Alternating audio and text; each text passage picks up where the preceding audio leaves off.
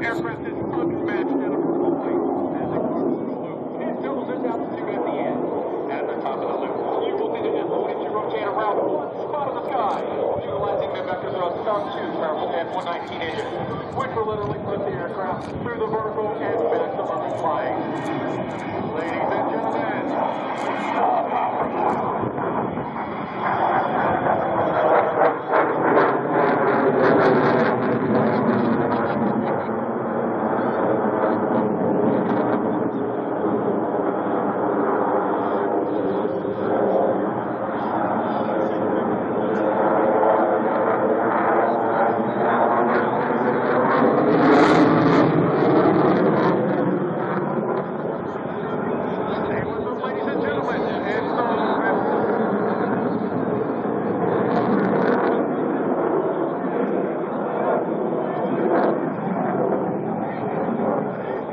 Earplugs? Some earplugs?